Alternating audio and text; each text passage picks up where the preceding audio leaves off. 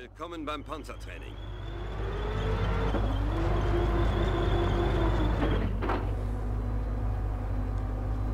Hallo und willkommen beim... Willkommen beim Panzertraining. Genau. das wollte ich damit sagen. Äh, ja, mal schauen, wie viel wir heute schaffen. Heute habe ich nicht so viel Zeit. Wahrscheinlich wird es nur eine Willkommen beim Panzertraining. Trainingseinheit. Wir haben soeben erfahren, dass ein Konvoi der Baker Company nördlich von unserer Position unter Beschuss geraten ist. Immer wieder die Baker Kompanie, ne? Wählen Sie Ihren Sherman-Panzer aus. Rücken Sie mit Ihrem Sherman-Panzer zum Ort des Hinterhalts vor. Kann ich da jetzt durch alles durchfahren? Rücken Sie mit Ihrem Sherman-Panzer zum Ort des Hinterhalts vor. Ja, ich bin ja schon dabei.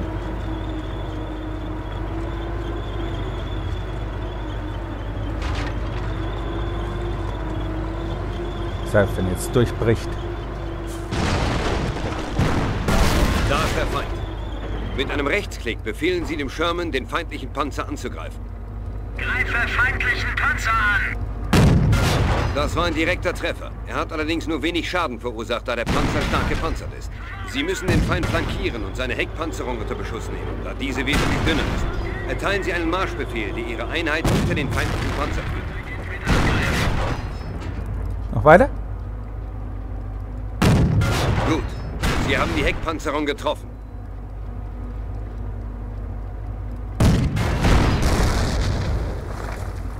Ich glaube, jetzt zerbröselt es. Nee. Aber beim nächsten. Einmal dafür noch. Kommt ein weiterer Panzer. Vorsicht! Wo? Wie? Wo? Ah? Wir müssen hier weg! Wechselstellung! Sherman beginnt mit Angriff. Sie wurden getroffen. Er ging mitten in den Motorblock! Sherman beginnt mit Angriff. Werfen wir nun einen Blick auf den Schaden. Der gegnerische Panzer hat bei Ihnen einen kritischen Treffer gelandet. Ihr Panzer ist fahruntüchtig. Die Einheiteninformationsanzeige auf der Kommandoleiste zeigt an, dass der Sherman einen kritischen Motortreffer abbekommen hat. Oh. Mit Hilfe Ihrer Pioniertrupps können Ihre Panzer noch im Feld repariert werden. Bei der Reparatur eines Fahrzeugs werden alle kritischen Schäden an ihm behoben. Wählen Sie Ihre Pioniere aus. Die sind echt Klicken Sie mit der rechten Maustaste auf den Sherman, um ihn zu reparieren. Da ist nichts mehr zu reparieren. Du hast wie nichts mehr zu reparieren. Ist einiges zu reparieren, mein Freund. Klicken Sie mit der rechten Maustaste auf den Sherman, um ihn zu reparieren. Macht eure Fackeln klar. Sie haben die Auswahl Ihrer Gruppe aufgehoben. Links klicken Sie auf Ihre Pioniere, um sie auszuwählen. Klicken Sie mit der rechten. Maustaste auf den Sherman, um ihn zu reparieren. Nee, wir sind ja dabei. Ausgezeichnet. Die. Reparaturen sind abgeschlossen. In diesem Gebiet gibt es feindliche Patrouillen. Mhm. Die Kaliber 50 Maschinengewehrverbesserung erhöht die Effektivität des Shermans bei der Bekämpfung von Infanterieeinheiten. Mhm. Wählen Sie Ihren Sherman-Panzer aus. Klicken Sie auf die blinkende Schaltfläche, um diese Erweiterung zu kaufen. So machen wir das. Ja, der Sherman. War schon auch kein schlechter Panzer. Sergeant, Ausgezeichnet. sehen Sie zu, dass Sehen Sie den MG-Schützen, der im Turm des Panzers. Stellung bezogen Es hat. wird Zeit, dass wir die Die Aufklärung meldet, dass die Deutschen nördlich von unserer Position einen Stützpunkt errichtet haben. Aha. Rücken Sie vor und kümmern Sie sich um den Gegner. So machen wir das. Befehlen Sie Ihrem Sherman, zur angezeigten Zielposition vorzustoßen. Ich sehe keine angezeigte Zielposition. Na hier. Dann... Das ist aber eine Befehlen Sie Panzersperre Ihrem hier. Sherman, zur angezeigten Zielposition vorzustoßen. Das ist eine Panzersperre. Denkt ihr, das ist so gut, durch eine Panzersperre durchzubrechen? Bin nicht sicher. Befehlen Sie Ihrem Sherman, zur angezeigten Zielposition Ja, ich bin doch nur... Jetzt mal ganz ehrlich. Panzerfallen blockieren die Straße. Ihr Sherman kann Panzerfallen nicht überwinden. Ach, Infanterie der Achsenmächte gesichtet. gut, dass wir unsere gerade!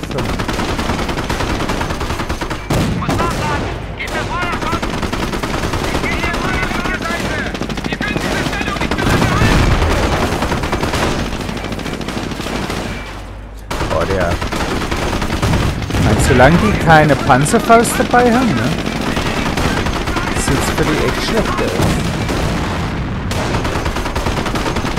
Aber wir kommen halt nicht rüber hier. Ne?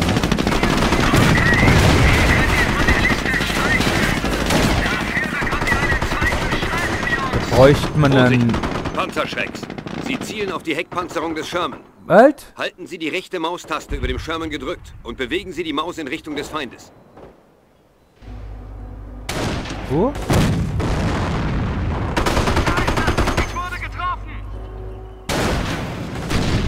Halten Sie die rechte Ja, Maustaste. ich bin ja schon. Ausgezeichnet. Bin ja schon. Jetzt weist die am stärksten gepanzerte Seite des Sherman in Richtung Feind. War ein bisschen abgelenkt. Kleine Panzerfaust, ne? Die haut natürlich rein. Das vorhin schon beinahe gedacht. Ja, der darf noch. Feindliche Panzerschrecks vernichtet. Sie müssen jetzt weiter auf den Stützpunkt der Achsenmächte vorrücken. Wie? Diese Panzerfallen blockieren Ihren Weg. Sie müssen einen Sherman Crocodile zur Hilfe rufen. Okay. Weil der Die Crocodile-Varianten sind mit Flammenwerfern ausgestattet. Sie können mit der Bulldozer-Verbesserung ausgestattet werden, um Panzerfallen und dichte Hecken zu zerstören. Wahnsinn. Wählen Sie Ihren Crocodile-Panzer aus. Verbessern Sie Ihren Sherman Crocodile, indem Sie auf die... So, dann haben wir gleich einen Bulldozer. Ja, und dann bulldozt der das jetzt hier weg. Schau mal, wie er es macht. Oh yeah. Ausgezeichnet. Sie können die Bulldozer-Schaufel nun herunterlassen, indem Sie neutralisieren die Panzerfallen, indem Sie mit dem Panzer darüber fahren. Gib mal ein bisschen Gas, Tiny! Bam. Bam. Ausgezeichnet. Ihr Panzer bewegt sich langsamer, während die Bulldozer-Schaufel heruntergelassen wird. Links klicken Sie auf die Bulldozer-Schaltfläche der Kommandoleiste, um sie wieder anzuheben. Kümmern Sie sich nun um diesen deutschen Stützpunkt. Setzen Sie den Sherman und den Sherman Crocodile Moment, ich muss es. Mit dem äh, Flammenwerfer können Sie Infanterieeinheiten aus Gebäuden vertreiben. Crocodile bereit! Truck! Sind in Bewegung, Roger! Wir brechen die Zelte ab! So, wohin müssen wir? Ah, da. Okay.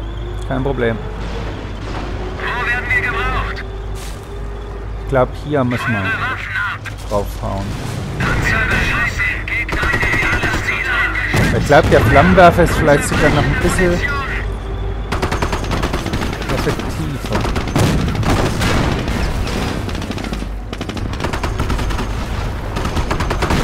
Oh, der kommt was. Panzer auf den Schlachtfeld! Hau den verdammten Gang rein! Mach schon! Greife den Feind an! Ähm, Sehr gut. Der deutsche Stützpunkt wurde zerstört. So gut wie gewonnen! Damit wäre das Panzertraining abgeschlossen. Während dieser Übung haben Sie gelernt, wie man Panzer ausrichtet, den Feind bekämpft und Hindernisse plattwalzt. Ausgezeichnete Arbeit. Wegtreten.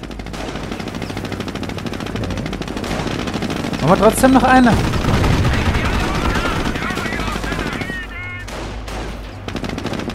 Machen wir trotzdem noch eine. Ich denke, ich denke, so viel Zeit hätte ich natürlich noch. Obwohl. Ja, oder? Das ist aber von diesen Opposite Fronts. Brauchen wir das überhaupt?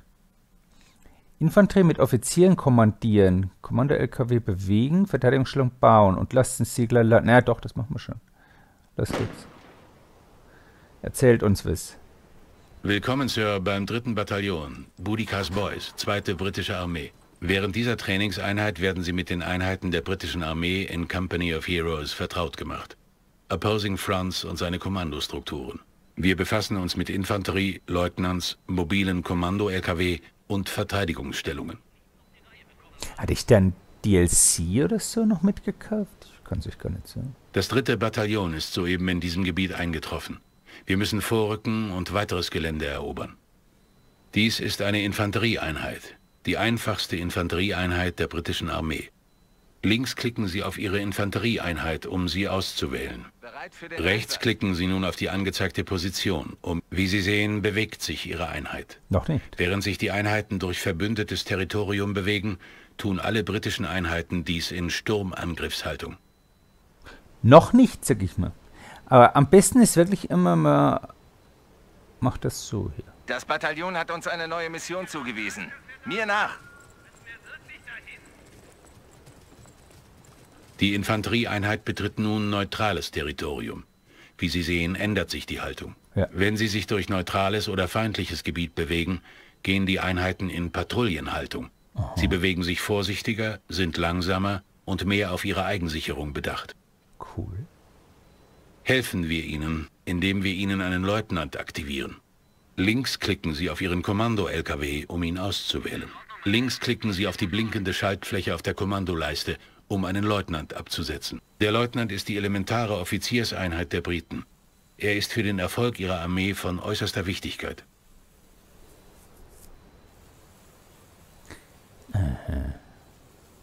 Das war wahrscheinlich dann die große Neuerung hier, ne? Der Leutnant. Ausgezeichnet. Ihr Leutnant ist bereit. Gut. Wählen Sie Ihren Leutnant aus. Kein Problem. Bewegen Sie Ihren Leutnant zur Infanterieeinheit. Denken, wenn sich ein Leutnant in der Nähe von Infanterieeinheiten befindet, stärkt seine Gegenwart die Dis... Gut. Der Stern über Ihrer Infanterieeinheit zeigt, dass sich ein Leutnant in der Nähe befindet. Sie erhalten dadurch Kampf- und Veteranenboni. Es ist daher ratsam, den Leutnant in Ihrer Nähe zu halten. Also natürlich, er wird. Da der Leutnant für. Ihre Infanterie von solch großer Bedeutung ist, ist es wichtig, dass er die Kommandoentfernung beibehält. Links klicken Sie auf die blinkende Schaltfläche, damit Ihr Leutnant der Infanterieeinheit folgt. Links klicken Sie jetzt auf die markierte Ah, Infanterieeinheit. Ja, Sir. Gut. Wie Sie sehen, wird nun über dem Leutnant angezeigt, dass er der Infanterieeinheit folgt. Okay. Wählen Sie Ihre Infanterie. Geben Sie der Infanterieeinheit nun den Befehl, das Munitionslager zu... Wie Sie sehen, bewegt sich Ihre Infanterie viel schneller, wenn sich ein Leutnant in Ihrer Nähe befindet. Vorsicht, es nähern sich feindliche Einheiten. In Deckung! Kapfer! Und nach! Kann ich irgendwas machen? Bei der Mauer! Ein Feind! Ausgezeichnete Arbeit. Feindliche Patrouille aufgerieben. Es war sicherlich ein harter Kampf für Ihre Infanterie. Zum Glück war Ihr Leutnant dort, der dafür gesorgt hat, dass sie Ihre Kampfformation nicht aufbricht. Fahren Sie mit der Eroberung des Sektors fort. Ich bin dir weit voraus, mein Freund. Also, was halt weit. was halt weit heißt, ne? Fahren Sie mit der Eroberung des Ja. Sektors fort. Ich bitte, ich bin schon schneller als du. Munitionslager gesichert. Der Sektor ist nun unter Ihrer Kontrolle. Obwohl wir das Munitionslager eingenommen haben, ist es noch nicht vollständig gesichert. Ungesicherte Marken liefern weniger Ressourcen. Sichern wir jetzt dieses Munitionslager. Das haben wir, glaube ich, schon Die gelernt. Briten sichern Sektoren auf eine andere Weise als so. andere Armeen. Okay. Sie benutzen ihre mobilen Kommando-Lkw. Kommando-Lkw bilden das Rückgrat der britischen Armee, weil sie überall auf dem Schlachtfeld abgesetzt werden können. Sie erlauben es den Briten, Verstärkung dort anzufordern, wo sie am nötigsten gebraucht wird. Was noch wichtiger ist, einmal aufgebaute Kommando-Lkw sichern die Sektoren ihres Territoriums. Wählen Sie Ihren Kommando-Lkw aus. Setzen Sie diesen Kommando-Lkw in den Munitionssektor ab, den Sie soeben erobert haben. Links klicken Sie auf die blinkende Schaltfläche, um einen Kommando-Lkw zu mobilisieren. Wir packen ein, um einen Durchführen zu können. Ich glaube, die backen ein. Zack. Gut. Kommando-Lkw ist mobil. Türen Werfen zu. Sie einen Blick auf die Minikarte. All Ihre Territorien blinken. Wann immer sich Ihr Hauptquartier Kommando-Lkw in Bewegung setzt, ist das von Ihnen kontrollierte Territorium vom Nachschub abgeschnitten. Sektoren, die vom Nachschub abgeschnitten sind, liefern keine Ressourcen. Befehlen Sie Ihrem Kommando-LKW zum Munitionssektor vorzustufen. Es gibt viele Gründe dafür, einen Kommando-LKW zu bewegen. Er verschafft besetzten Sektoren einen Ressourcenbonus. Er Ist in der. Lage, Einheiten näher am Frontverlauf anzufordern und kann seine Position verlagern, wenn der Feind angreift. Der. Kommando-LKW ist während eines Stellungswechsels sehr verwundbar. Sie sollten ihn daher stets sichern.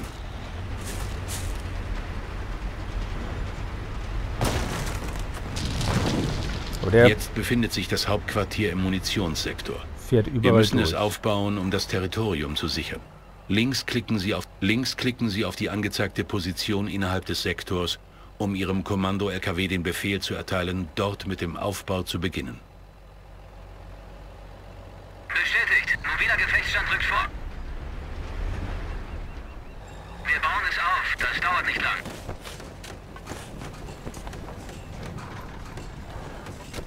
Wieso musste ich jetzt hier hin? Ausgezeichnet. Sie haben Ihren Kommando-LKW erfolgreich aufgebaut. Wie Sie sehen, hat das Territorium aufgehört zu blinken.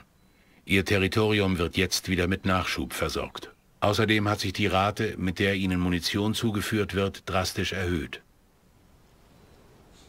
Ja, aber Wählen Sie Ihre Infanterieeinheit an, um eine MG-Stellung zu errichten. Klicken Sie auf die blinkende Schaltfläche, um links klicken Sie auf die Schaltfläche für Positionieren Sie die Stellung, indem Sie einen Linksklick auf den Bestimmungsort ausführen. wohin soll man... Richten Sie die MG-Stellung so aus, dass Sie den nördlichen Hättet ihr die Güte, euch mal ein bisschen anzustrengen, Jungs? Ich würde sagen, wohin soll man die ausrichten? Aber sie haben es uns noch gesagt.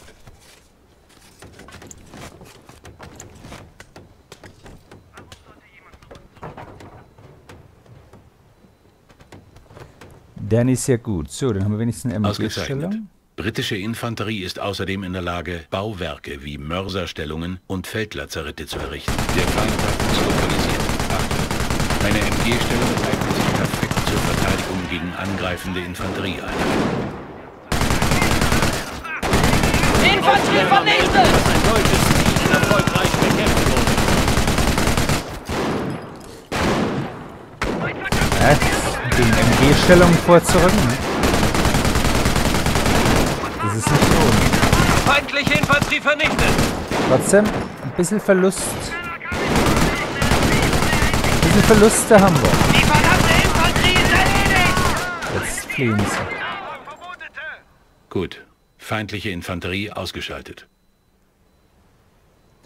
Ja, was heißt Heben wir, um Ihren Einheiten zusätzlichen Schutz zu bieten, einen Graben aus. Klicken Sie auf die blinkende Schaltfläche, um zu links klicken Sie auf die Blink links klicken Sie auf die angezeigte Position, um dort einen Graben zu platzieren. Richten Sie den Graben aus. Das Die nur bei den Briten vorhandenen Schützengräben sind Verteidigungseinrichtungen, die der Infanterie zusätzlichen Schutz bieten. Da könnten die sogar eine, ein erstes Weltkriegsszenario hier machen, ne? Mit Stellung. Der Graben ist fertig. Gut. Bereit für noch Wie Sie sehen, ist er nach Fertigstellung noch nicht besetzt. Ein unbesetzter Graben kann von jedem besetzt werden, sogar vom Feind. Okay. Laufe, Leute! Ihr kommt rein! Guter Aufklärer melden, dass ein deutsches Ziel erfolgreich bekämpft wurde.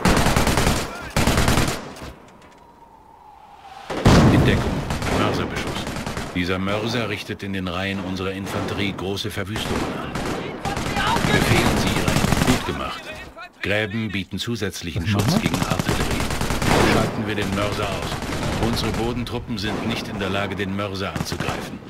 Wir brauchen die Fähigkeit, Kommandant der Kompanie der Royal Commandos, um ihn angreifen zu können. What? Was heißt das? Ihnen wurde Zugriff auf Lastensegler-Kommandoeinheiten gewährt. Lastensegler eignen sich hervorragend dazu, feindliche Stellungen hinter der Front anzugreifen. Links klicken Sie, um einen Lastensegler anzufordern. Links klicken Sie jetzt auf die vorgegebene Position, um eine Startzone für Ihren Lastensegler zu markieren. Links klicken Sie erneut, um die gewünschte Richtung für die Landung des Lastenseglers anzugeben.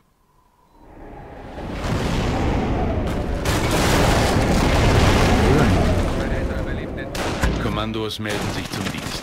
Befehlen Sie Ihrer Kommandoeinheit, den Mörser auszuschalten.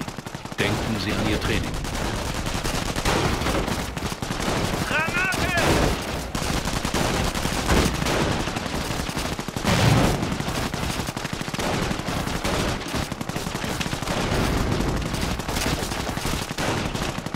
Jetzt kennen Sie die einzigartigen Fähigkeiten der britischen Einheiten.